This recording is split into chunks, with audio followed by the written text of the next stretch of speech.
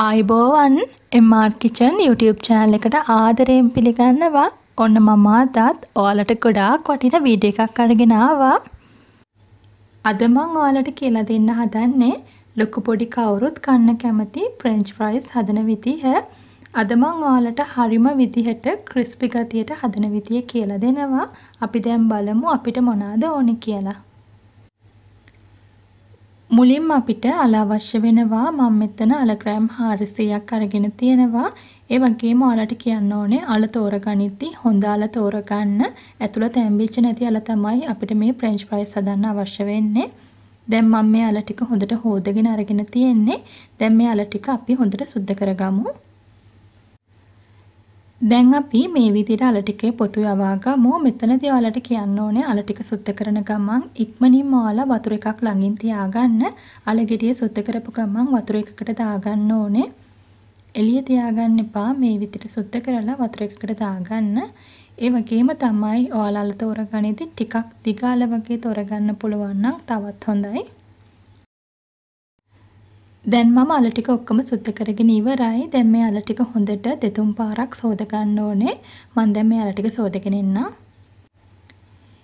ඒ අතරේ අපි අල ටික කපන්න කලින් මේ විදිහට කෝල් වතුර එකක් ලෑස්ති කරගන්න ඕනේ. අල ටික කපපු ගමන් අපි කෝල් වතුර එකකට දාන්න ඕන නිසා.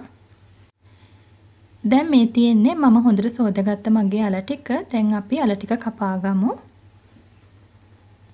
ඔන්න දැන් මුලින්ම අලගෙඩිය මේ විදිහට අරගෙන අලගෙඩිය හතර පැත්ත පොඩ්ඩක් මේ වගේ කපලා අයින් කරන්න ඕනේ.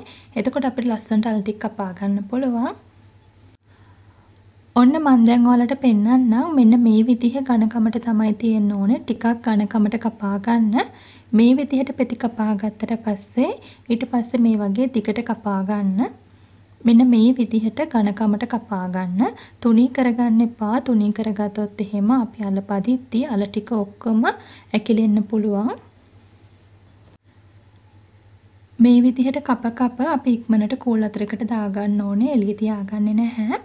දැන් මම ওই විදිහට අල ටික ඔක්කොම කපා ගන්නවා. දැන් මම කපාගත්ත අල ටික ඔක්කොම කූල් වතුරකට දාගත්තා. අපි මේ කූල් වතුර එකේ අල ටික විනාඩි 10ක් විතර තියාගමු. දැන් මේ හරියටම විනාඩි 10කට පස්සේ දැන් මං අල ටික මේ විදිහට ටවල් එකක් උඩට දාගන්නවා. අපි මේ විදිහට දාගන්නේ අලවල තියෙන වතුර ගතිය හොඳටම අඩු කරගන්න. මේ විදිහට හොඳට අපි අලවල තියෙන වතුර ගතිය ටිකක් අඩු කරගන්න ඕනේ. මේ විදිහට හොඳට පිහා ගන්න. දැන් මේ ඔයාලට පේනව නේද අලවල වතුර ගතිය හොඳටම අඩු වෙලා තියෙන්නේ. මේ වගේ වුණාට පස්සේ අපි අල ටික මේ වගේ ප්ලේට් එකකට දාගමු. මං ඔයාලට නැවතත් අලවල පොට්ටක් ඝනකම් පෙන්නන්නම් මෙන්න මේ විදිහේ ඝනකමට තියෙන්න ඕනේ. දැන් මං කරන්න හදන්නේ අපේ අල ටික විනාඩියක් විතර තෙලේ බැද ගන්නයි හදන්නේ. දැන් මම භාජනයක් ලිපේ තියාගත්තා. භාජනය රත් වුණාට පස්සේ තෙල් දාගන්න. මෙතනදී අලවල ප්‍රමාණය අනුව ඔයාලා තෙල් දාගන්න. තෙල් ටික මේ විදිහට රත් වුණාට පස්සේ ලිපේකින්දර ටිකක් අඩු කරලා අපේ අල ටික දාගමු. ඔක්කොම එකපාර දාගන්න. මෙතනදී ඔයාලට කියන්න ඕනේ වැදගත්ම දේ තමයි අපි මේ විදිහට අල ටික තෙලට දැම්මට පස්සේ හරියටම විනාඩියක් විතරයි අපි තෙලේ බැදගන්නේ. ගොඩාක් වෙලා බැදගන්නේ නැහැ. ඔයාලා හරියටම වෙලාව බලලා විනාඩියකින් මේ විදිහට තෙල් ටික බේරලා බාගන්න.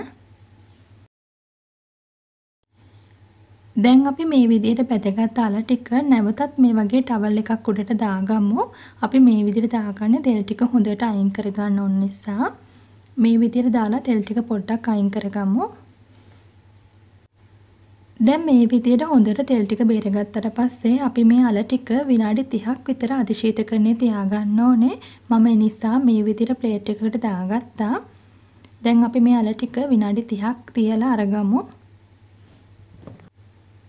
දැන් මේ හරියටම විනාඩි 30කට පස්සේ මම අල ටික අරගෙන ආවා. දැන් ඔන්න අපිට පුළුවන් අල ටික බැද ගන්න. දැන් මේ විදිහට හොඳට තෙල් ටික රත් වුණාට පස්සේ ඔයාලා අල ටික ටික දාලා බැද ගන්න. ලිපේ ගින්දර සාමාන්‍ය ප්‍රමාණය තියාගන්න. මේ ඔයාලට පේනවා ඇති තාමත් තෙල් එකේ හොඳට බුබුලු තියෙනවා. මේ බුබුලු ටික අඩු වුණාට පස්සේ තමයි අපි අල ටික එළියට ගන්න ඕනේ.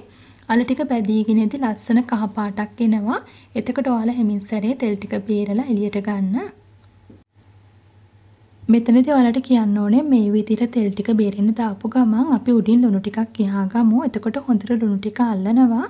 ඒ වගේම අනිත් වැදගත් දේ තමයි අපි ඉක්මනට තෙල් ටික බේරලා වෙනම ප්ලේට් එකකට මාරු කරගමු. නැත්තම් අපේ අල ටික පෙඟෙන්න බලනවා.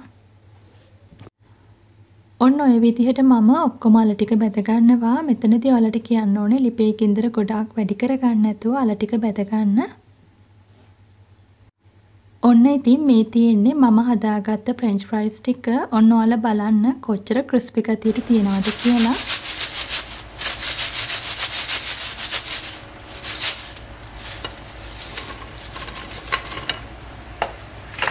ඔන්න ඉතින් ඔයාලා කැමති නම් මේ වෙලාවේදී මිරිස් කුඩු ටිකකුත් උඩින් යහා ගන්න පුළුවන්.